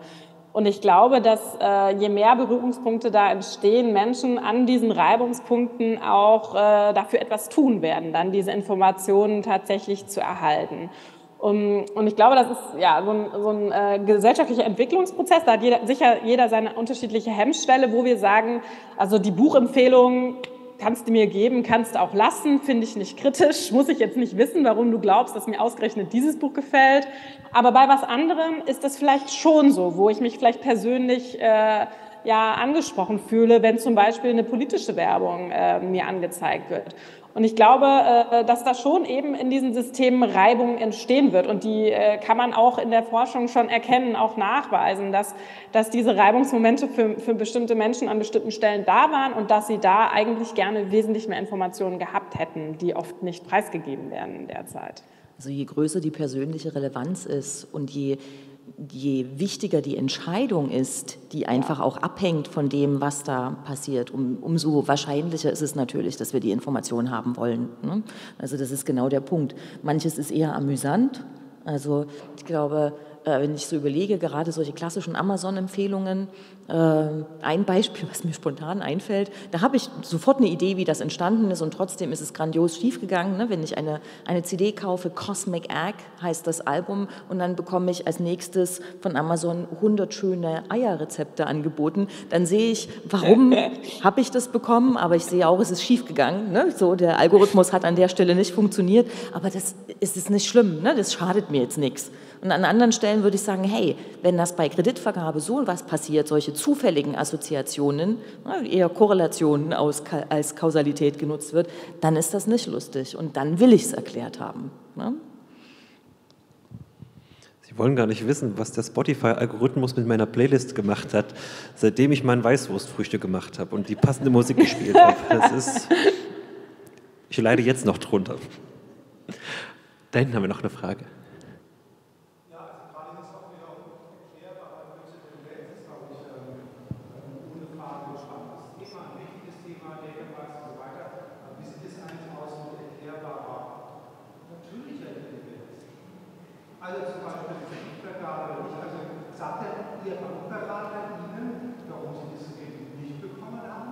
Wenn man eine Bewerbung abschickt an eine Firma, bekommen Sie dann eine Erklärung, warum Sie abgelehnt wurden, warum Sie diesen Job nicht bekommen haben? Also ich glaube, natürlich, die, die Daten sind überall, ist alles klar, aber vielleicht muss man einfach gucken, also was ist denn die Alternative zwischen KI-System und ähm, ja, NI-System? Anderes Beispiel, autonomes Fahren. Ein Testerauto fährt jemanden tot ja, tragische Sache. Zweieinhalbtausend Menschen sterben nur in Deutschland jedes Jahr in Autounfällen. Und diese Zahl ist bereits erstaunlich runtergegangen durch die ganze Technik, die in Autos verbaut ist. Also Frage, was ist der, was ist der korrekte Vergleich?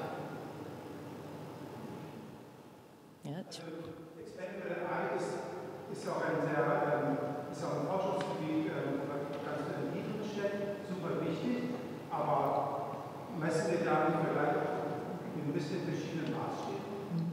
Ich glaube, es sind verschiedene Fragen oder verschiedene Punkte, die sich in Ihrer Aussage sozusagen verbergen. Das eine ist, äh, was, was die, das menschliche Erklären und äh, die menschliche Intelligenz und deren Verständnis angeht, die Forschung ist deutlich länger, ähm, gibt es schon deutlich länger als die Forschung zu äh, der Erklärung künstlicher Intelligenz. Und insofern da, da, gibt es sehr viele Arbeiten zu und es, wir wissen, dass wir auch da Grenzen haben bei Dingen. Ne? So, das heißt aber nicht, also die Transparentmachen von Entscheidungsprozessen durch Menschen hat in dem Fall ja sehr viel weniger mit Intelligenz zu tun, als eben tatsächlich genau damit, mit Transparenz. Ähm, und da gilt ein bisschen das Gleiche, was ich gerade auf die Frage äh, gesagt habe. Also auch da kann man ja nur animieren, auch wieder nachzufragen, sich Dinge erklären zu lassen und immer hoffen, dass natürlich auch in Unternehmen bestimmte Dinge erklärt werden. Ich mache Trainings für Personalauswahl und sage immer wieder, Feedback muss sein. Personen müssen wissen, weshalb sie nicht angenommen wurden. Die müssen eine Rückmeldung bekommen. Es ist eine, an sich ist es eine Verpflichtung, die man hat genau diese Rückmeldung zu geben. Mir ist natürlich vollkommen bewusst, dass das nicht immer passiert. Ne? Aber das sind, das sind dann menschliche Fehler und ähm, in dem Fall menschliches Versagen, genauso wie natürlich leider bei all den, bei den Verkehrstoten, die wir haben. Der Anspruch an, an eine Neuentwicklung ist aber aus meiner Sicht nicht, und ich meine, das ist auch immer genau die Logik, nicht es auch leidlich so okay hinzukriegen, wie es der Mensch hinbekommt, jetzt mal äh, ein bisschen lax formuliert, sondern wenn ich über eine Alternative in zum Beispiel einem Entscheidungsprozess nachdenke, dann sollte die an sich besser sein als das, was wir selber hinbekommen. Und das ist eben das, was wir nicht haben, wenn wir wenn wir die Biases genauso haben. Aber sie kann eine sehr, sehr wertvolle Unterstützung sein. Also alles, was Frau Züger und ich sagen, geht äh, aus meiner Sicht in keiner Weise dahin zu sagen, um Himmels Willen, äh, künstliche Intelligenz ist, ist etwas, das, da sollten wir, sollten wir Abstand von nehmen oder wir sollten die Forschung dazu lassen, sondern wir sagen nur, man muss es, man muss es mit Bedacht einsetzen. Man muss sehen, wo hat es den Nutzen und wo hat es den nicht. Und an manchen Stellen suggeriert es uns aktuell noch mehr Nutzen, als es hat und an anderen ist es jetzt schon sehr, sehr wertvoll. Aber äh, ich denke nicht, dass es ein gutes Ziel wäre zu sagen, wir, wir kriegen das genauso gut hin wie Menschen, sondern wenn ich in ein autonomes Fahrzeug mich setze, sollte ich eine relativ hohe Wahrscheinlichkeit haben, dass ich eben nicht in gleicher Weise unfallgefährdet bin, wie ähm, wenn ich das Fahrzeug selber steuere. Also ich denke, das ist die Abwägung. Ne? Und da ist die Referenz ist tatsächlich das ist besser hinzubekommen.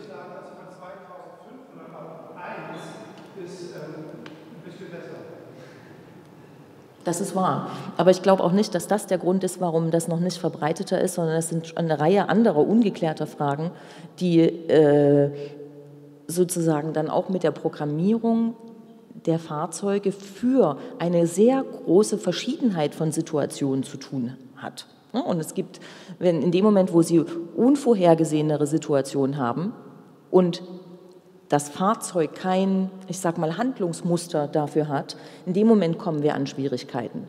Und das sind oft Situationen, wo Menschen sehr wohl Handlungsmuster haben. Das, was, was klassisch immer als Beispiel genannt wird, ist eben, wenn, wenn solche Entscheidungssituationen anstehen, die wir, ne, bremse ich, wer, wem schütze, wen schütze ich, den Insassen oder die Person, den Passanten oder ähnliches. Ne? Ähm, aber grundsätzlich natürlich, wenn man, wenn man da reduzieren kann, das ist gut, aber ähm, wenn ich eine, äh, eine solche Technik auf die Straße stelle, dann muss ich sicher sein, dass sie der Komplexität der Situationen, die sich dort stellen können, auch gewachsen ist. So. Ähm, vielleicht noch ergänzend, ich glaube, das sind zwei sehr unterschiedliche Beispiele, die wir jetzt hier im Raum hatten. Das eine äh, mit dem autonomen Fahren. Da ist es im Moment so, es gibt so äh, eine Skala von wie autonom Fahrzeuge im Moment äh, sein können. Und es gibt fünf verschiedene Stufen. Und die fünfte Stufe wäre die, wo Menschen nur noch Passagiere im Grunde sind in dem autonomen Fahrzeug. Aber auf der, dieser Stufe sind wir nicht. Das können Autos derzeit noch nicht.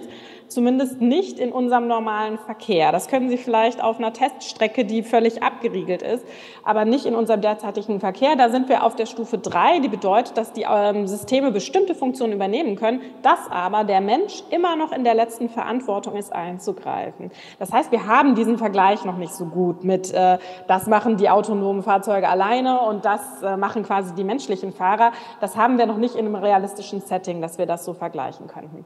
Ähm, zu dem anderen Beispiel mit der Kreditvergabe. Also ich glaube, wenn ein Kredit verwehrt wird, dann gibt es eine Erklärung dafür. Äh, und ich würde mir wünschen, als derjenige, der quasi der nicht am nicht empfangenden Ende sitzt, dass es diese Erklärung nicht nur gibt. Ich würde mir sie auch transparent wünschen, aber ich würde mir auch wünschen, dass es dafür auch gute Gründe gibt innerhalb der Institution. Und ich glaube auch, dass es die geben würde und äh, würde davon ausgehen, dass diese nicht diskriminierend sein dürften. So, und das haben wir ja zum Beispiel auch in diesem Rechtsurteil gesehen, dass das schon auch irgendwie die Logik ist, der wir folgen. Wir wollen Erklärungen für Dinge. Und gerade wenn es zum Beispiel um staatliche Vergabungsverfahren geht oder um ähm, sonstige Verwaltungsprozesse, dann wollen wir und haben auch das Recht auf Erklärung. Und das ist schon, glaube ich, für unsere Gesellschaft sehr wichtig, dass es diese Rechenschaftspflicht an ganz vielen Stellen gibt.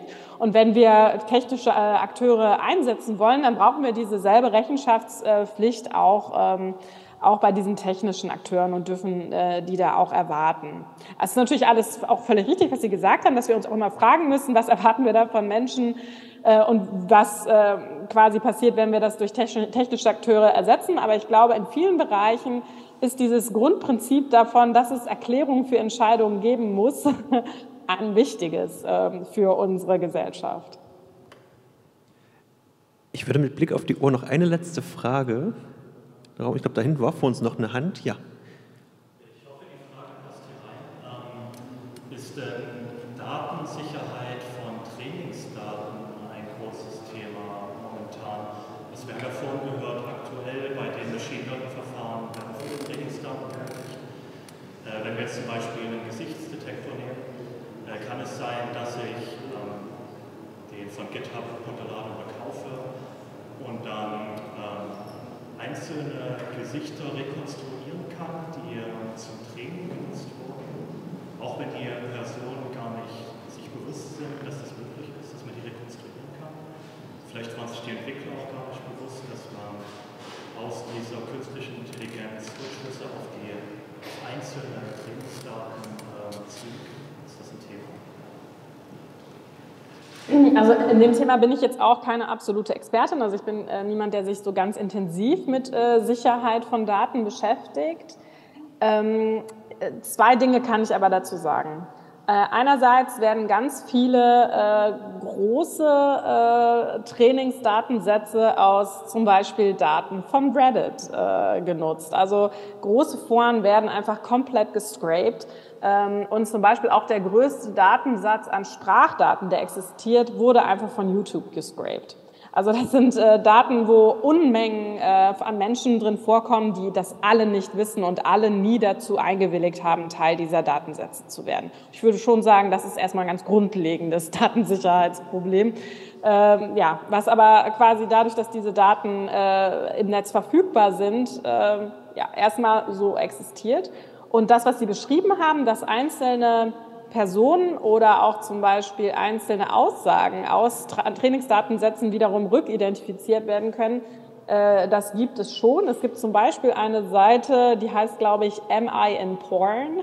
wo äh, zum Beispiel ähm, ja, computergenerierte Gesichter in Pornografie verwendet werden und man äh, herausfinden kann, ob das eigene Gesicht äh, quasi für diese Figuren, äh, diese künstlichen äh, Avatarfiguren in der Pornografie verwendet wurden. Ähm, ich glaube aber, es ist ein Thema, was noch nicht so sehr in der öffentlichen, äh, im öffentlichen Bewusstsein angekommen ist, ähm, was aber durchaus eine Rolle spielen kann. Ja. ja, und in der Forschung ist es ein riesiges Thema. Also die Frage des Datenschutzes, wenn wir mit solchen ähm, Datensätzen arbeiten, Reidentifikation ist etwas, was definitiv nicht möglich sein soll. Und das müssen wir auch sehr eindeutig nachweisen, sonst dürfen wir die Forschung nicht machen. Also im Forschungskontext ist es ein ganz großes Thema. Und ähm, auch natürlich, wenn wir wieder bei den Regulierungen sind, auf, äh, auf rechtlicher Ebene ist es auch ein sehr, sehr großes Thema. Ne? Also die, äh, gesamten, diese gesamten Entwicklungen im Bereich äh, großer Datenmengen äh, gehen immer auch einher mit äh, gleichzeitig den Überlegungen zur Datensicherheit. Ich denke, das kann man, kann man sehr klar sagen. Ne? Aber auch hier gilt, ähm, es, ist, es sind halt einfach irre viele Daten in der Welt. Ne? Ich darf keine Daten verwerten, von denen ich die Person nicht um Erlaubnis gebeten habe und ihnen gesagt habe, wofür ich die auch weiterverwerte. Aber an anderer Stelle greifen da noch zu wenig Regularien, kann man sagen. Ja, dann würde ich sagen, machen wir den Sack zu. Dann bleibt mir noch Danke zu sagen. Danke, Frau Strobel, jetzt fällt mir hier alles runter. Danke, Frau Strobel, danke, Frau Züger, für diesen tollen, Gerne. interessanten Einblick ist es ja nur, den wir hier geschafft haben. Danke an die Technik für die improvisierte, hybride Veranstaltung, die hervorragend geklappt hat, zumindest aus meiner Sicht. Danke auch ans Team für von der Pochenbiennale für die Einladung und natürlich auch danke an euch, dass ihr hier wart. Sagt allen euren Bekannten, Freunden, Familie Bescheid, die sollen sich doch die Ausstellung angucken. Die ist nur noch diese Woche, wenn ich das richtig verstehe. Kommt vorbei und kommt gut in den Abend. Macht's gut.